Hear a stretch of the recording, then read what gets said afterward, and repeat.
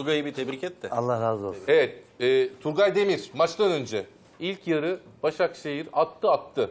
İkinci Kurtardı, yarı maçı Beşiktaş, kotardı kotardı dedim. İkinci yarı Beşiktaş ezer. İkinci yarı Beşiktaş ezer dedi. Yani ilk yarı ne yaptıysa yaptı dedi. Nitekim 5 1-0 öne geçti. Nitekim 5 olurdu yani. O zaman 42. dakikadaki Beş gol de çok önemli tabii. 42. dakikadaki Tabii. o gol çok kritik. 2-1 de olsa bir şey değişmez. 2-0, 3-0 yaparsa ancak. Beşiktaş ikinci Tebrik yarıda- ediyorum. Hakikaten dedikleriniz Abi, doğru çıktı. Sezon başından beri oturalım. 5 kişi izleyelim. Başakşehir ikinci yarı hep böyle. Akisar baskı kurdu diyorum. Yarım saat gol atamadı. Bütün takımda Erzurum baskı kurdu. Yarım saat gol atamadı. İkinci yarı duruyor. Ve şunu da ekledim.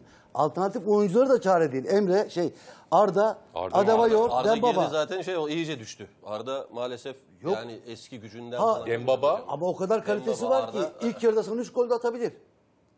İlk yarıda sana 3 gol de atabilir. Olurdu. Ama ikinci yarı yürüyorlar abi yok. Dört tane ezber pası var. Sağ beke ver, sol beke ver. Medel